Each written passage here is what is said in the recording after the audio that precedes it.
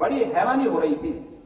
हर वक्त आवाज़ उठती थी कि जितने कावड़ यात्री जाएँगे, जितने समूह जाएँगे, कोई माइक नहीं बजेगा, कोई डीजे नहीं बजेगा, कोई बाजा नहीं बजेगा। तो मैंने कहा, वह कावड़ यात्रा है या सौ यात्रा है?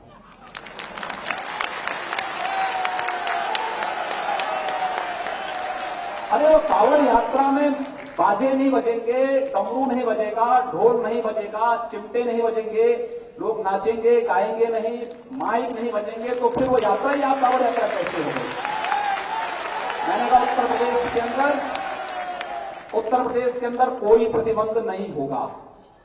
और मैं इस बात को आदेश दे रहा हूँ कि सभी कावड़ यात्रियों में पता नहीं कौन शिव का अंश बनकर के चल रहा है, ऊपर से पुष्प अवस्था, हेलीकॉप्टर से करिए आप जाइए, हम इस प्रकार की व्यवस्था करेंगे चार करोड़ कावड़ यात्री थे, लेकिन एक तिनका नहीं हिला गाजियाबाद से लेकर के हरिद्वार के बीच। ये अनुशासन।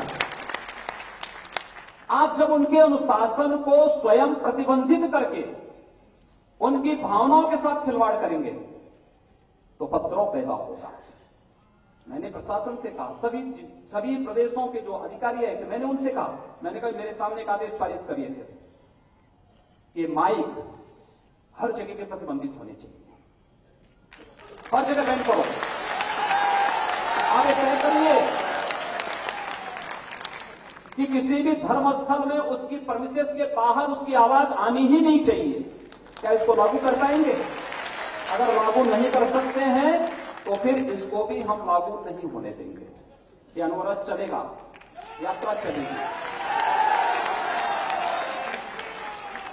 अगर मैं सड़क पर ईद के दिन नमाज़ पढ़ने से रोक नहीं लगा सकता तो मुझे कोई अधिकार नहीं कि मैं थानों में जन्माष्टमी के पर्वों को रोकूं।